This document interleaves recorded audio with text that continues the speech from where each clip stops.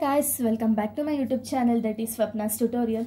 ನೀವೇನು ನನ್ನ ಚಾನಲ್ಗೆ ಸಬ್ಸ್ಕ್ರೈಬ್ ಆಗಿಲ್ಲ ಅಂದರೆ ಪ್ಲೀಸ್ ಸಬ್ಸ್ಕ್ರೈಬ್ ಆಗಿ ವೀಡಿಯೋಸ್ನ ಲೈಕ್ ಮಾಡಿ ಶೇರ್ ಮಾಡಿ, ಹಾಗೆ ಕಮೆಂಟ್ ಮಾಡಿ. ಸೊ ಇವತ್ತು ನಾನು ಮಾಡ್ತಿರೋ ಸಬ್ಜೆಕ್ಟ್ ಯಾವುದು ಅಂದರೆ ಫಿಫ್ತ್ ಸಮ್ ಬಿ ಕಾಮ್ನ ಐ ಎ ಎಸ್ ಸಬ್ಜೆಕ್ಟ್ನ ಎಕ್ಸ್ಪ್ಲೈನ್ ಮಾಡ್ತಿದ್ದೀನಿ ಸೊ ಅದರಲ್ಲಿ ಚಾಪ್ಟರ್ ಫೋರ್ ಬಂದು liability based Indian accounting standard ಅಂತ ಹೇಳಿ ಅದರಲ್ಲಿ ಪಾರ್ಟ್ ಒನ್ನ ಎಕ್ಸ್ಪ್ಲೈನ್ ಮಾಡ್ತಿದ್ದೀನಿ ಸೊ ಅದರಲ್ಲಿ ನಿಮಗೆ ಮೇನ್ ಪ್ರಾಬ್ಲಮ್ಸ್ ಯಾವ ಬೇಸಿಸ್ ಮೇಲೆ ಇರೋದು ಅಂದರೆ ಎಂಪ್ಲಾಯಿ ಬೆನಿಫಿಟ್ಸ್ ಬೇಸಿಸ್ ಮೇಲೆ ನಿಮಗೆ ಪ್ರಾಬ್ಲಮ್ಸ್ ಅನ್ನೋದು ಅರೈಸ್ ಆಗುತ್ತೆ. ಸೊ ಅಲ್ಲಿ ನಿಮ್ಗೆ ಯೂಶಲಿ ಯಾವ ಥರ ಇದೆ ಅಂದರೆ ಫೋರ್ ಕೇಸಸ್ ಇದೆ. Case one two three four ಅಂತ ಹೇಳಿ ಫೋರ್ ಕೇಸಸ್ ಇದೆ. ಸೊ ಫೋರ್ ಕೇಸ್ ನೀವು ಪ್ರಾಪರಾಗಿ ಕಲ್ತರೆ ನಿಮಗೆ ಫೋರ್ ಕೇಸಸಲ್ಲಿ ಯಾವ ಥರ ಸಮ್ನ ಸಾಲ್ವ್ ಮಾಡಬೇಕು ಅಂತ ಹೇಳಿ ನಿಮಗೆ ಗೊತ್ತಾಗುತ್ತೆ. ಸೊ ಕೇಸ್ ಒನ್ನ ನಾನು ಈ ಒಂದು ವಿಡಿಯೋದಲ್ಲಿ ಹೇಳ್ಕೊಡ್ತೀನಿ. ಸೊ ಕೇಸ್ ಒನ್ ಬಂದು payments of wages and salary so ಒಬ್ಬ ಪರ್ಸನ್ಗೆ ಯಾವ ಥರ ನೀವು ಸ್ಯಾಲ್ರೀಸ್ ಮತ್ತು ವೇಜಸ್ನ ಕೊಡ್ತೀರಾ ಅಂತ ಹೇಳಿ ಡಿಸೈಡ್ ಮಾಡ್ಕೊಳ್ಳೋದನ್ನ ಪೇಮೆಂಟ್ ಆಫ್ ವೇಜಸ್ ಅಂತ ಹೇಳಿ ಕರಿತೀವಿ. ಸೊ ಇಲ್ಲಿ ನಾವು ಯೂಶಲಿ ಏನು ಮಾಡ್ತೀವಿ ಅಂದರೆ ಅಡ್ವಾನ್ಸಸ್ ಇದೆಯಾ ಔಟ್ಸ್ಟ್ಯಾಂಡಿಂಗ್ ಇದೆಯಾ ಅಂತ ಎಲ್ಲ ನೋಡಿಕೊಂಡು ಅದ್ರ ಬೇಸಿಸ್ ಮೇಲೆ ಒಂದು ಜರ್ನಲ್ ಎಂಟ್ರೀಸನ್ನು ಹಾಕ್ತಾ ಹೋಗ್ತೀವಿ. ಫಸ್ಟ್ ಜನರಲ್ ಆಗಿ ನೀವು ನೋಡೋದಾದ್ರೆ when the short term benefits are paid ಅಂದರೆ ಯಾವಾಗ ಒಂದು ಎಂಪ್ಲಾಯಿಗೆ ಸ್ಯಾಲ್ರಿನ ಪೇ ಮಾಡ್ತೀರಾ, ಅಂದರೆ ಯಾವ್ದಾದ್ರು ಎಂಪ್ಲಾಯಿಗೆ ಸ್ಯಾಲ್ರಿ ಪೇ ಮಾಡಿದಾಗ ಯಾವ ಥರ ಎಂಟ್ರಿ ಬರುತ್ತೆ ಅಂದರೆ ಎಕ್ಸ್ಪೆನ್ಸಸ್ ಅಥವಾ salary account data to bank account ಅಂತ ಹೇಳಿ ಈ ಒಂದು ಎಂಟ್ರಿನ ಹಾಕ್ತೀರಾ. ಯಾವಾಗ ಸ್ಯಾಲ್ರಿ ಪೇ ಆದಾಗ ಈ ಒಂದು ಎಂಟ್ರಿನ ಹಾಕ್ತೀರಾ. Next when the short term benefits are not paid ಅಥವಾ ಔಟ್ಸ್ಟ್ಯಾಂಡಿಂಗ್ ಅಂದರೆ ಎಕ್ಸ್ಪೆನ್ಸಸ್ ಇವಾಗ ಏನಾದ್ರು ಒಂದು ಸ್ಯಾಲ್ರಿ ಕೊಡಬೇಕು ಒಬ್ಬ ಎಂಪ್ಲಾಯಿಗೆ ಬಟ್ ಆ ಒಂದು ಸ್ಯಾಲ್ರಿನ ನೀವು ಪೇ ಮಾಡಿರಲ್ಲ, ಅಂದರೆ ಔಟ್ಸ್ಟ್ಯಾಂಡಿಂಗ್ ಇದ್ದಾಗ ಯಾವ ಥರ ಎಂಟ್ರಿ ಹಾಕೋದು ಅಂತ ಹೇಳಿ ಸೆಕೆಂಡ್ ಎಂಟ್ರಿ ಆಗಿರುತ್ತೆ. ಸೊ ಅವಾಗ ನೀವೇನು ಮಾಡ್ತೀರಾ, ಅಂದರೆ salary account data to outstanding expenses account ಇದು ಔಟ್ಸ್ಟ್ಯಾಂಡಿಂಗ್ ಇದ್ದಾಗ, ಅದೇ ಔಟ್ಸ್ಟ್ಯಾಂಡಿಂಗ್ ಅಮೌಂಟ್ ಏನಾದ್ರು ಪೇ ಆದಾಗ ನಿಮಗೆ outstanding expenses account data to bank account ಇಲ್ಲಿ ಏನಿರುತ್ತೋ ಅದನ್ನೇ ವಯಸ್ಸು ವರ್ಷ ಬರೀತೀರಾ? ಬಟ್ ಸ್ಯಾಲ್ರಿ ಅಕೌಂಟ್ ಜಾಗದಲ್ಲಿ ಬ್ಯಾಂಕ್ ಅಕೌಂಟ್ ಅಂತ ಹೇಳಿ ಬರೀತೀರಾ? ಯಾವಾಗ ಅಂದರೆ ಔಟ್ಸ್ಟ್ಯಾಂಡಿಂಗ್ ಎಕ್ಸ್ಪೆನ್ಸಸ್ ಏನಾದರೂ ಪೇ ಆದರೆ ಈ ಒಂದು ಎಂಟ್ರಿ ಅನ್ನೋದು ಬರುತ್ತೆ.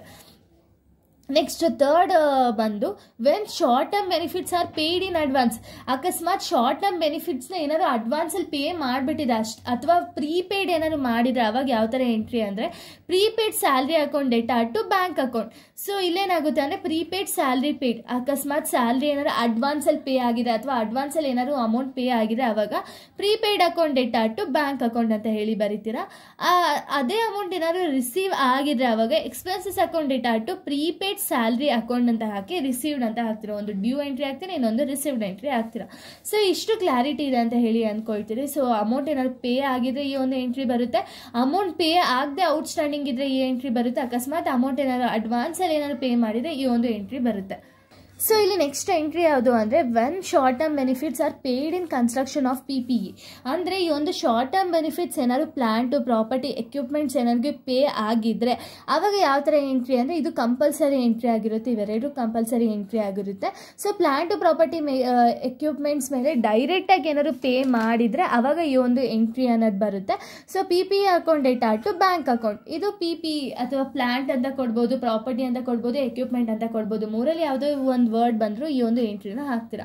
ನೆಕ್ಸ್ಟ್ ಬಂದು short term benefits are incurred on stock ಅಂದರೆ ಸ್ಟಾಕ್ ಮೇಲೆ ಏನಾದ್ರು ಡೈರೆಕ್ಟಾಗಿ ಅಮೌಂಟ್ ಇನ್ಕರ್ಡ್ ಆದರೆ ಅಥವಾ ಡೈರೆಕ್ಟ್ಲಿ ಇನ್ವಾಲ್ವ್ ಇನ್ ಪ್ರೊಡಕ್ಷನ್ ಆಗಿರ್ಬೋದು, ಅಥವಾ ಏನಾದ್ರು ಪ್ರೊಡಕ್ಷನ್ ಆಕ್ಟಿವಿಟೀಸಲ್ಲಿ ಡೈರೆಕ್ಟಾಗಿ ಇನ್ವಾಲ್ವ್ ಆದರೆ ಅವಾಗ stock account data to bank account stock ಅಂತಾರು ಬರಿಬೋದು ಅಥವಾ ಇನ್ವೆಂಟರಿ ಅಂತಾರು ಬರಿಬೋದು. ಇವೆರಡರಲ್ಲಿ ಯಾವ್ದಾದ್ರು ವರ್ಡ್ನ ನೀವು ಯೂಸ್ ಮಾಡ್ಬೋದು.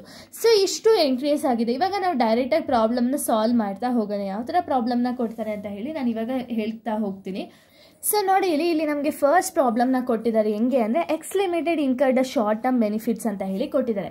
ಸೊ ಇಲ್ಲಿ ಎಕ್ಸ್ಲಿಮಿಟೆಡ್ ಅನ್ನೋರು ಸ್ವಲ್ಪ ಶಾರ್ಟ್ ಟರ್ಮ್ ಬೆನಿಫಿಟ್ಸ್ನ ಇನ್ಕರ್ಡ್ ಮಾಡಿದ್ದಾರೆ. ಯಾವುದೇದು ಅಂದರೆ ಫಸ್ಟ್ ಒನ್ ಬಂದು paid ten lakhs to employee so ಇಲ್ಲಿ ಎಂಪ್ಲಾಯಿಗೆ ಹತ್ತು ಲಕ್ಷ ರೂಪಾಯಿ ಪೇ ಮಾಡ್ತಿದ್ದೀವಿ ಅಂತ ಹೇಳಿ ಹೇಳಿದ್ದಾರೆ. ಸೊ ಸೆಕೆಂಡ್ ಬಂದು paid five lakh in advance next ಏನು ಮಾಡ್ತಿದ್ದಾರೆ ಅಂದರೆ ಅಡ್ವಾನ್ಸ್ ಆಗಿ ಐದು ಲಕ್ಷ ರೂಪಾಯಿನ ಪೇ ಮಾಡ್ತಿದ್ದಾರೆ. ಇದಾದಮೇಲೆ ನೆಕ್ಸ್ಟ್ ಬಂದು company hold a payment of three lakh relates to due or technical reason so ಇಲ್ಲಿ amount three lakh rupees pay ಮಾಡಬೇಕಿತ್ತು. ಬಟ್ ಏನಾಗಿದೆ? ಡ್ಯೂ ಅಂತ ಹೇಳಿ ತೋರಿಸಿದ್ದಾರೆ. ಸೊ ಡ್ಯೂ ಎಂಟ್ರಿನ ಹಾಕ್ತೀರಾ? Next paid rupees twenty lakh wages who are directly involved in production so twenty lakh rupees ವೇಜಸ್ನ ಅಮೌಂಟ್ನ ಕೊಡ್ತಿದ್ದಾರೆ ಯಾರಿಗೆ? ಅಂದರೆ ಪ್ರೊಡಕ್ಷನಲ್ಲಿ ಇನ್ವಾಲ್ವ್ ಆಗಿರೋರಿಗೆ. ಅಂದರೆ ಪ್ರೊಡಕ್ಷನ್ ಅಂದರೆ ಏನು? ಡೈರೆಕ್ಟ್ಲಿ ಇನ್ವಾಲ್ವ್ ಇನ್ ಪ್ರೊಡಕ್ಷನ್ ಅಂದರೆ ಯಾವ ಎಂಟ್ರಿ ಆಗಬೇಕು ಅಂದರೆ stock or inventory related entry ಅನ್ನೋದನ್ನ ಹಾಕಬೇಕಾಗುತ್ತೆ. Next paid rupees fifteen lakh to the workers who are engaged in construction of plant construction of plant property equipments ಇದಕ್ಕೆ ಯಾರೆಲ್ಲ ಇನ್ವಾಲ್ವ್ ಆಗಿರ್ತೀರೋ ಅವ್ರಿಗೆ ಅಮೌಂಟ್ ಅನ್ನೆಲ್ಲ ಪೇ ಮಾಡ್ತಿದ್ದೀರಾ. ಸೊ ಅದಕ್ಕೆ ಆ ಒಂದು ಎಂಟ್ರಿನ ಹಾಕ್ತಾ ಹೋಗ್ತೀರಾ ನೀವು. ಸೊ ಇವಾಗ ನಾವು ಡೈರೆಕ್ಟಾಗಿ ಸಾಲ್ವ್ ಮಾಡೋದಾದರೆ ಸೊ ಇದು ಫಸ್ಟ್ ಫಸ್ಟ್ ಸಮ್ನ ಆನ್ಸರ್ ಆಗಿದೆ ಈ ಒಂದು ಬೇಸಿಸ್ ಮೇಲೆ. ನೋಡಿ, ಇಲ್ಲಿ ಫಸ್ಟ್ ನೀವು ನೋಡೋದಾದ್ರೆ pay rupees ten lakh to employees so ಎಂಪ್ಲಾಯೀಸ್ಗೆ salary ಅನ್ನೋದನ್ನ ಪೇ ಮಾಡ್ತಿದ್ದಾರೆ. ಸೊ ಇದರಲ್ಲಿ ನೋಡಿ, ಇಲ್ಲಿ ಇದರಲ್ಲಿ ನಾನು ಫಾರ್ಮ್ಯಾಟಲ್ಲಿ ನಾನು ಆಗಲೇ ಹೇಳಿದೆ, ಅಂದರೆ ಜರ್ನಲ್ ಎಂಟ್ರೀಸಲ್ಲಿ ಹೇಳಿದೆ. ಏನಾದ್ರು ಸ್ಯಾಲ್ರಿ ಪೇ ಆಗಿದ್ರೆ ಎಂಪ್ಲಾಯೀಸ್ಗೆ ಅವಾಗ ಯಾವ ಎಂಟ್ರಿ ಬರುತ್ತೆ ಅಂದರೆ ಪೇಯ್ಡ್ ಎಂಟ್ರಿ ಬರುತ್ತೆ. ಪೇಯ್ಡ್ ಎಂಟ್ರಿ ಏನಾಗುತ್ತೆ? ಎಕ್ಸ್ಪೆನ್ಸಸ್ ಅಥವಾ salary account debtor to bank account so ಇಲ್ಲಿ ನೀವೇನು ಮಾಡ್ತೀರಾ ಅಂದರೆ ಯೂಶ್ವಲಿ ಇಲ್ಲಿ ಏನಾಗಿದೆ ಅಂದರೆ ಟೆನ್ ಲ್ಯಾಕ್ ರುಪೀಸ್ ಪೇ ಆಗ್ತಿದೆ ಎಂಪ್ಲಾಯಿಗೆ ಸೊ ಅವಾಗ ಏನಾಗುತ್ತೆ? Same entry salary account debtor to bank account ಅಂತ ಹಾಕಿ ಏನು ಅಮೌಂಟ್ ಇದೆ ಅದೇ ಅಮೌಂಟ್ನ ಹಾಕ್ತೀರಾ? ನರೇಶನ್ ಬಂದು ನಿಮಗೆ ಕ್ವಶನಲ್ಲಿ ಏನಿದೆ ಅದನ್ನೇ ಬರಿಬೋದು. ಅಥವಾ salary pay to administration employees are recorded ಅಂತ ಹೇಳಿ ಬರಿತೀರಾ. ಅದನ್ನಾರು ಬರಿಬೋದು ಅಥವಾ ಇದನ್ನಾರು ಬರಿಬೋದು. ಏನು ಇಶ್ಯೂ ಆಗಲ್ಲ. ಓಕೆನಾ ನೆಕ್ಸ್ಟ್ ಒನ್ ಬಂದು paid five lakh in advance advance ಆಗಿ ಪೇ ಆಗಿದೆ. ಏನು ಎಂಟ್ರಿ ಬರುತ್ತೆ ನೋಡಿ ಇಲ್ಲಿ? Short term benefits are paid in advance advance ಆಗಿ ಪೇಯ್ಡ್ ಆಗಿದ್ರೆ prepaid account debtor to bank account ಅಂತ ಹೇಳಿ ಕೊಟ್ಟಿದ್ದಾರೆ.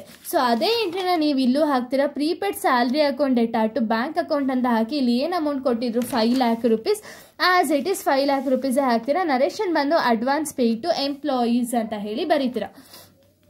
ನೆಕ್ಸ್ಟ್ ನೀವು ನೋಡೋದಾದ್ರೆ company hold to payment of rupees three lakh relates to due for technical reason ಮೂರು ಲಕ್ಷ ರೂಪಾಯಿ ಪೇ ಮಾಡಬೇಕಿತ್ತು ಬಟ್ ಡ್ಯೂ ಇದೆ. ಡ್ಯೂ ಇದ್ದಾಗ ನೀವು ಯಾವ ಎಂಟ್ರಿ ಹಾಕ್ತೀರಾ? ಔಟ್ಸ್ಟ್ಯಾಂಡಿಂಗ್ ಅಥವಾ ಡ್ಯೂ ಏನಾದ್ರು ಇತ್ತು ಅಂದಾಗ ಈ ಒಂದು ಎಂಟ್ರಿನ ಹಾಕಬೇಕಾಗುತ್ತೆ. Salary account debtor to outstanding expenses account debt sorry outstanding expenses account ಅಂತ ಹೇಳಿ ಹಾಕ್ತೀರಾ. So salary account debtor to outstanding salary ಅಥವಾ ಔಟ್ಸ್ಟ್ಯಾಂಡಿಂಗ್ ಎಕ್ಸ್ಪೆನ್ಸಸ್ ಅಕೌಂಟ್ ಡೇಟಾ ಅಂತ ಹಾಕಿ ಮೂರು ಲಕ್ಷ ರೂಪಾಯಿ ಏನು ಕೊಟ್ಟಿದ್ರೋ, ಅದೇ ಮೂರು ಲಕ್ಷ ರೂಪಾಯಿನೂ ಎಂಟ್ರಿ ಮಾಡ್ತೀರಾ? ನರೇಶನ್ ಬಂದು ಸ್ಯಾಲ್ರಿ ಔಟ್ಸ್ಟ್ಯಾಂಡಿಂಗ್ ರೆಕಾರ್ಡೆಡ್ ಅಂತ ಹೇಳಿ ನರೇಶನ್ ಹಾಕ್ತೀರಾ. ಸೊ ನೆಕ್ಸ್ಟ್ ನೀವು ನೋಡೋದಾದ್ರೆ paid rupees twenty lakh wages who are directly involved in production so ನಾನು ಪ್ರೊಡಕ್ಷನ್ ಅಂದರೆ ಆಗಲೇ ಹೇಳಿದೆ. ಪ್ರೊಡಕ್ಷನ್ ಅಂತ ಏನೇ ವರ್ಡ್ ಬಂದು ಸ್ಟಾಕ್ ಅಂತ ಹೇಳಿ ರಿಲೇಟ್ ಮಾಡ್ಕೋಬೇಕು ಅಂತ. ಸೊ ಇನ್ಕರ್ಡ್ ಇನ್ ಸ್ಟಾಕ್ ಅಥವಾ ಇನ್ವೆಂಟರೀಸ್ ಅಂತ ಹೇಳಿ ಕರಿತೀವಿ. ಪ್ರೊಡಕ್ಷನ್ ಆಕ್ಟಿವಿಟೀಸ್ ಎಲ್ಲ ಏನಾದ್ರು ಇನ್ವಾಲ್ವ್ ಆಗಿದೆ ಅವಾಗ ಈ ಒಂದು ಎಂಟ್ರಿ ಬರುತ್ತೆ. Stock account debtor to bank account ಅಂತ ಹೇಳಿ ಬರುತ್ತೆ. So as it is stock ಅಥವಾ ಇನ್ವೆಂಟರಿ ಎರಡೂ ಬರಿಬೋದು. Stock account retire to bank account ಅಂತ ಹಾಕಿ, ಇಲ್ಲಿ ಏನು ಅಮೌಂಟ್ ಕೊಟ್ಟಿರೋ twenty lakh rupees as it is twenty lakh ರುಪೀಸ್ನ ಹಾಕೋಯ್ತೀರ ನರೇಶನ್ ಬಂದು wages pay to employees involve in production activities ಅಂತ ಹಾಕಿ ಟ್ವೆಂಟಿ ಲ್ಯಾಕ್ ಟ್ವೆಂಟಿ ಲ್ಯಾಕ್ ಅಂತ ಹೇಳಿ ಬರೀತೀರಾ. ನೆಕ್ಸ್ಟ್ ನೀವು ನೋಡೋದಾದರೆ paid rupees fifteen lakh to the workers who are engaged in construction of plant so construction of plant ಅಂದರೆ ಏನು? ಪಿ ಪಿ ಇ ರಿಲೇಟೆಡ್ ಎಂಟ್ರೀಸ್ನ ಹಾಕಬೇಕು ಅಂತ ನಾನು ಆಲ್ರೆಡಿ ಹೇಳಿದೆ. When the short term benefits are paid for P P E ಆವಾಗ ಏನು entry ಆಗುತ್ತೆ ಅಂದರೆ P P E account debtor to ಪ್ಲಾ bank account so as it is P P E account debtor debtor to bank account ಅಂತ ಹಾಕಿ fifteen lakh rupees fifteen lakh rupees ಅಂತ ಹಾಕ್ತೀರಾ? Narration ಬಂದು wages pay to workers who are involved in plant ಅಂತ ಹೇಳಿ ನರೇಶನ್ನ ಬರೀತೀರಾ. So ಇದು first problem answer ಆಗಿದೆ. ಸೊ ಅದು ಫಸ್ಟ್ ಪ್ರಾಬ್ಲಮ್ ಆನ್ಸರ್ ನಮಗೆ ಸಿಕ್ಕಿದೆ. ಇವಾಗ ಸೆಕೆಂಡ್ ಪ್ರಾಬ್ಲಮ್ನ ನಾವು ನೋಡೋದಾದರೆ software limited incurred short term benefits ಏನೇನೆಲ್ಲ ಶಾರ್ಟ್ ಟರ್ಮ್ ಬೆನಿಫಿಟ್ಸ್ ಆಗಿದೆ ಸಾಫ್ಟೆಕ್ ಲಿಮಿಟೆಡ್ ಅವ್ರಿಗೆ ಅಂದರೆ paid rupees fifty lakh to software engineer software ಇಂಜಿನಿಯರ್ಗೆ use ಇವ್ರು ಯೂಶಲಿ ಏನು ಮಾಡ್ತಿದ್ದಾರೆ ಅಂದರೆ ಅಮೌಂಟ್ ಅದನ್ನು ಪೇ ಮಾಡ್ತಿದ್ದಾರೆ. ಅಂದರೆ ಸ್ಯಾಲ್ರಿ ಅದನ್ನು ಪೇ ಮಾಡ್ತಿದ್ದಾರೆ ಬಟ್ ಬಟ್ ಏನು ಮಾಡಬೇಕು? ಇಲ್ಲಿ ಡಿಫ್ರೆನ್ಸ್ ಏನು? ಅಂದರೆ ಇಲ್ಲಿ ಸ್ಯಾಲ್ರಿ ಬದಲು ಸಾಫ್ಟ್ವೇರ್ ಇಂಜಿನಿಯರ್ಗೆ ಅಲ್ವಾ ನಾವು ಪೇ ಮಾಡ್ತಿರೋದು? ಅದಕ್ಕೆ ಅವಾಗ intangible assets account debtor to bank account ಅಂದರೆ ಸ್ಯಾಲ್ರಿಗೆ ಏನು ಪೇ ಆದಾಗ ಏನು ಅಮೌಂಟ್ ಬರುತ್ತೋ ಹಂಗೆ ಬರೀತೀರಾ? ಬಟ್ ಅದ್ರ ಬದಲು ಸ್ಯಾಲ್ರಿ ಅನ್ನೋದು ಬದಲು ಇಂಟಾಂಜಿಬಲ್ ಅಸೆಟ್ಸ್ ಅಂತ ಹೇಳಿ ಹಾಕ್ತೀರಾ. Next paid rupees ten lakh to supportive staff so supportive ಸ್ಟಾಫ್ಗೆ ನೀವು ಯೂಶಲಿ ಏನು ಮಾಡ್ತೀರಾ? ಸ್ಯಾಲ್ರಿನೇ ಅಲ್ವಾ ಪೇ ಮಾಡೋದು? ಅವಾಗ same as it is salary account debtor to bank account ಅಂತ ಹೇಳಿ ಬರೀತೀರಾ. Next at the year ending thirty fifteen lakh of salary was due ಇಲ್ಲೇನಾಗಿದೆ ಅಂದರೆ ಇಯರ್ ಎಂಡಿಂಗಲ್ಲಿ ತರ್ಟೀನ್ ಲ್ಯಾಕ್ ಸ್ಯಾಲ್ರಿ ಅನ್ನೋದು ಡ್ಯೂ ಇದೆ. ಸೊ ಅವಾಗ ಏನು ಎಂಟ್ರಿ ಆಗುತ್ತೆ ಅಂದರೆ ಇಯರ್ ಎಂಡಿಂಗ್ ಅಂತ ಕೊಟ್ಟಿದ್ದಾರೆ. ಬಟ್ ನೀವು ಯೂಶಲಿ ಏನು ಮಾಡ್ತೀರಿ ಅಂದರೆ ಡ್ಯೂ ಎಂಟ್ರಿ ಆದರೆ ಒಂದು ಡ್ಯೂ ಎಂಟ್ರಿನ ಮಾತ್ರ ಹಾಕ್ತಿದ್ರಿ ಅಲ್ವಾ? ಸೊ ಇಲ್ಲಿ ಏನು ಮಾಡಿದ್ದಾರೆ ಅಂದರೆ ಅಟ್ ದ ಬಿಗಿ ಅಟ್ ದ ಇಯರ್ ಎಂಡಿಂಗ್ ಅಂತ ಹೇಳಿ ಅವರೇ ಮೆನ್ಷನ್ ಮಾಡಿದ್ದಾರೆ. ಅಂದರೆ ಇಯರ್ ಎಂಡಿಗೆ ಇಯರ್ ಎಂಡಿಂಗಲ್ಲಿ ಇಷ್ಟು ಸ್ಯಾಲ್ರಿ ಡ್ಯೂ ಇದೆ ಅಂತ ಹೇಳಿ ಕೊಟ್ಟಿದ್ದಾರೆ. ಸೊ ಇಯರ್ ಎಂಡಿಂಗಲ್ಲಿ ಡ್ಯೂ ಎಂಟ್ರಿನ ತೋರಿಸಿ ನೆಕ್ಸ್ಟ್ ಇಯರಲ್ಲಿ ನೀವು ಅದನ್ನು ಪೇ ಮಾಡದೆ ನೀವು ಬೇರೆ ಒಂದು ಎಂಟ್ರಿನ ಮಾಡೋಕ್ಕಾಗಲ್ಲ. ಅಲ್ವಾ? ಇವಾಗ ಯಾವುದೇ ಒಂದು ಕಂಪನಿ ಆದರೂ ಸರಿ ಫಸ್ಟ್ ಇಯರ್ ಎಂಡಿಂಗಲ್ಲಿ ಯಾವುದೆಲ್ಲ ಬಾಕಿ ಇದೆಯೋ ಅದನ್ನೆಲ್ಲ ಪೇ ಮಾಡೇ ನೆಕ್ಸ್ಟ್ ಎಂಟ್ರಿನ ನೀವು ಹಾಕಬೇಕಾಗುತ್ತೆ. ಸೊ ಅವಾಗ ಏನಾಗುತ್ತೆ ಅಂದರೆ ಇಯರ್ ಎಂಡಿಂಗಲ್ಲಿ ಹದಿಮೂರು ಲಕ್ಷ ಪೇ ಮಾಡ್ತಿರೋದಕ್ಕೆ ಡ್ಯೂ ಎಂಟ್ರಿನೂ ತೋರಿಸ್ತೀವಿ ವಿತ್ ಪೇಯ್ಡ್ ಎಂಟ್ರಿ ಎರಡನ್ನೂ ಸಹ ನೀವು ತೋರಿಸ್ಬೇಕಾಗುತ್ತೆ.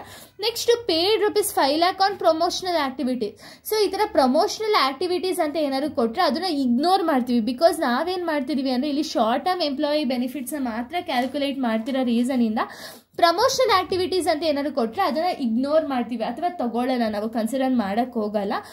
ಸೊ ಇವಾಗ ನಾವು ಪ್ರಾಬ್ಲಮ್ನ ಡೈರೆಕ್ಟಾಗಿ ಸಾಲ್ವ್ ಮಾಡ್ತಾ ಹೋಗೋಣ. ಸೊ ಪ್ರಾಬ್ಲಮ್ನ ನೋಡೋದಾದ್ರೆ ಫಸ್ಟ್ ಒಂದು ಬಂದು paid rupees fifty lakh to software engineering ಅಂತ ಹೇಳಿದ್ದಾರೆ.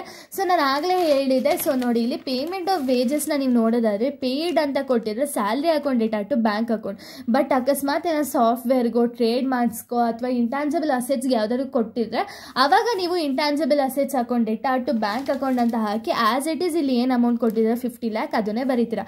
Next paid rupees ten lakh to supportive staff supportive ಸ್ಟಾಫ್ಗೆ ಏನು ಕೊಡ್ತೀರಾ? ಸ್ಯಾಲ್ರಿ ಅಲ್ವಾ? ಸ್ಯಾಲ್ರಿ ಪೇ ಆಗಿದೆ, ಯಾವ ಎಂಟ್ರಿ ಬರುತ್ತೆ? Salary account debtor to bank account ten lakh ten lakh ಅಂತ ಹೇಳಿ decide ಮಾಡ್ಕೊಳ್ತೀರಾ. Next at the year ending thirteen lakh was salary was paid first due ಅಂತ ಹೇಳಿ ಕೊಟ್ಟಿದ್ದಾರೆ.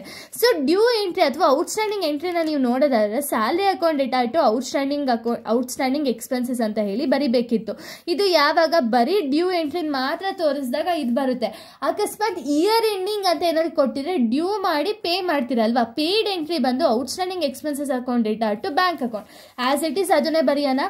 Salary account debtor to outstanding expenses account ಅಂತ ಹಾಕಿ thirteen lakh ಹಾಕ್ತೀವಿ. ಅದನ್ನೇ pay ಮಾಡಬೇಕಾದ್ರೆ outstanding account debtor to bank account ಅಂತ ಹಾಕಿ ಸೇಮ್ ಅಮೌಂಟ್ನ ಎ ಬಿ ಅಂತ ತರ್ಡ್ ಒನ್ನಲ್ಲೇ ಎ ಬಿ ಅಂತ ಹೇಳಿ ಮೆನ್ಷನ್ ಮಾಡ್ಕೊಳ್ತೀವಿ.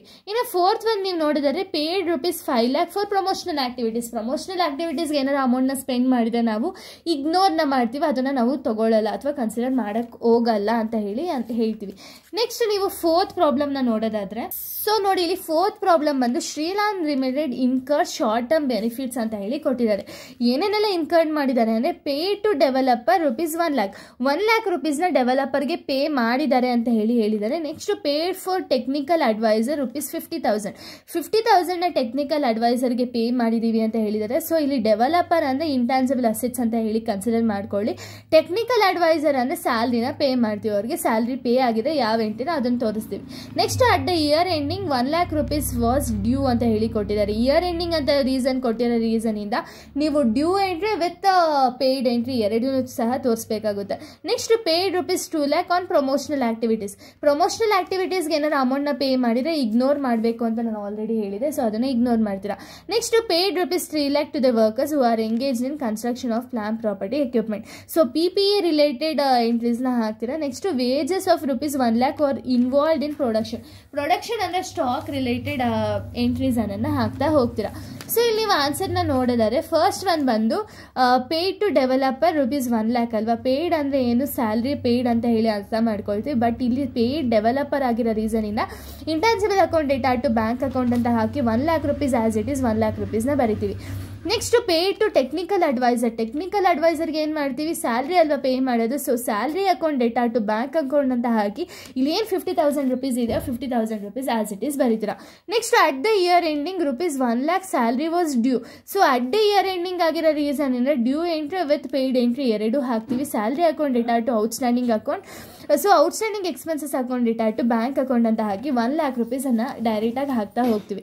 Next paid rupees three lakh to P ಅಂತ ಹೇಳಿ ಕೊಟ್ಟಿದ್ದಾರೆ. ಪಿ ಇ ಆಗಿದ್ರೆ ಏನು ಮಾಡ್ತೀರಾ ಅಂದರೆ P P E account to bank account ಅಂತ ಹಾಕಿ three lakh rupees three lakh rupees ಅಂತ ಡೈರೆಕ್ಟಾಗಿ ಹಾಕೋಯ್ತೀರಾ. Next wages paid rupees one lakh who are involved in production production activities ಅಂದರೆ ಸ್ಟಾಕ್ ಅಲ್ವಾ? So stock account to bank account ಅಂತ ಹಾಕಿ one lakh rupees one lakh rupees ಅಂತ ಡೈರೆಕ್ಟಾಗಿ ಬರಿತೀವಿ. So ಇಷ್ಟು ಕೂಡ ಕೇಸ್ ಒನ್ ರಿಲೇಟೆಡ್ ಅಂದರೆ, ಯಾವಾಗ ನಿಮಗೆ ಪೇಮೆಂಟ್ ಆಫ್ ವೇಜಸ್ ಅಂದರೆ ಒಂದು ಎಂಪ್ಲಾಯಿ ವೇಜಸ್ ರಿಲೇಟೆಡ್ ಇನ್ಫಾರ್ಮೇಷನ್ನ ಕೊಟ್ಟಾಗ ಕೇಸ್ ಒನ್ ರಿಲೇಟೆಡ್ನ ಮಾಡ್ತಾ ಹೋಗ್ತೀವಿ. ಇನ್ನು ಕೇಸ್ ಟು ಬಂದು ನೆಕ್ಸ್ಟ್ ವೀಡಿಯೋದಲ್ಲಿ ನಾನು ಎಕ್ಸ್ಪ್ಲೈನ್ ಮಾಡ್ತೀನಿ. So thank you guys thanks for watching